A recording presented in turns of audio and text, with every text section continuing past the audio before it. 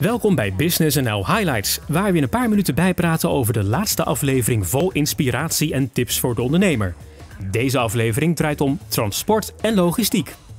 Estron is een allround logistieke dienstverlener. Denk hierbij bijvoorbeeld aan grootschalige opslag en overzeese transport. Lieke gaat langs bij de organisatie voor een kijkje achter de schermen.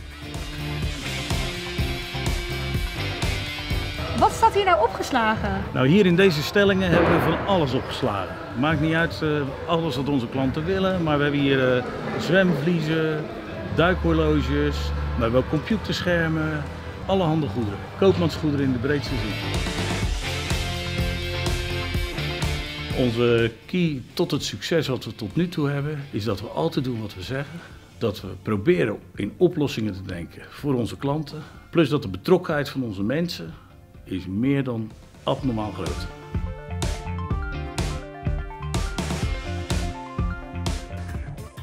Wist je dat het aantal containers dat in de Rotterdamse haven wordt verwerkt sinds 1970 meer dan 30 keer zoveel is geworden?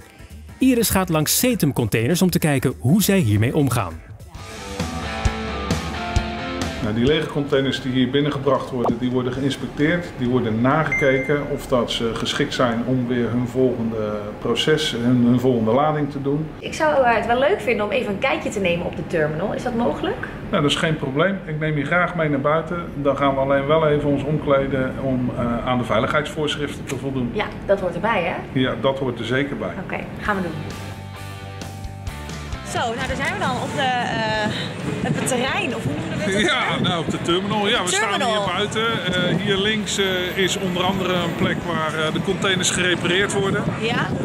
daar voor ons hebben wij waar containers aan de binnenkant gewassen worden.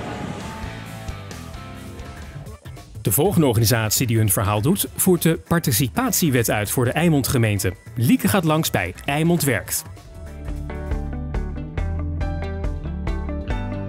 Welkom bij Eimond Werkt. Wat kan ik voor u doen?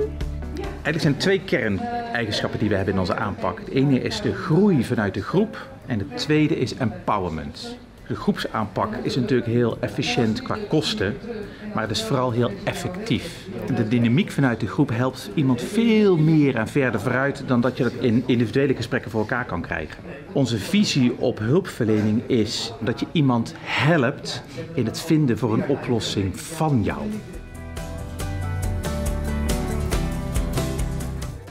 NS is de grootste aanbieder van personenvervoer in Nederland.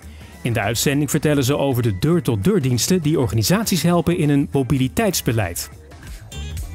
Deur-tot-deur diensten. Hè. Ik als NS'er heb natuurlijk de mazzel dat ik werk op het station, maar dat heeft niet iedereen. Dus wat we eigenlijk doen met de deur-tot-deur diensten is een reis van station naar station, wat je met de trein doet, verlengen van huis naar kantoor. En dat doe je door bijvoorbeeld een OV-fiets of uh, een tram erbij te pakken of andere dingen zoals een Greenwheels auto boeken. Dat zijn allemaal mogelijkheden om ervoor te zorgen dat je echt van je huis naar je kantoor kan. Of van huis naar je afspraak bijvoorbeeld, hè, wat het dan ook is. Dus eigenlijk wat we daarmee doen is je reis verlengen.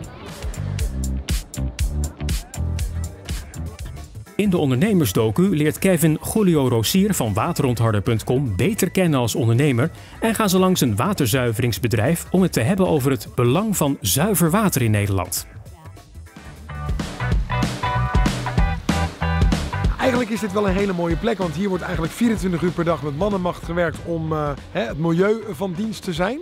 Hoe doe jij dat? Nou ja, ten eerste draagt ons uh, waterontharder daaraan bij. Want je apparatuur uh, gaat veel efficiënter werken en langer mee. En je hebt veel minder chemische reinigingsmiddelen nodig om, om al die kalk weg te krijgen. En daarnaast in het bedrijfsproces, um, onze verpakking is nog maar een kwart van het karton van, van de oude verpakking. En we gebruiken pennen van gerecycled karton uh, in plaats van plastic. Ja, want uiteindelijk al dat plastic belandt natuurlijk ook weer in het uh, milieu en in het water. En dat is ook gewoon een heel groot uh, probleem en belasting voor het milieu. Uiteraard krijgen we tips van onze deskundigen. Zo geeft Massimo een nieuwe LinkedIn-tip over social selling. Denk bijvoorbeeld aan dit voorbeeld. Als je websites bouwt, kun je websites voor iedereen bouwen. Of je maakt een gerichte target doelgroep naar bijvoorbeeld apothekers. Want als jij meerdere apothekerswebsites hebt gebouwd, dan is de elfde een koud kuntje. Die hoef je alleen maar te bellen.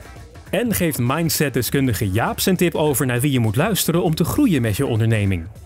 Uiteindelijk is het ook een belangrijk verhaal om te kijken naar wie we luisteren in onze business. Weet jij waar je heen gaat of laat je je vooral leiden door jouw omgeving?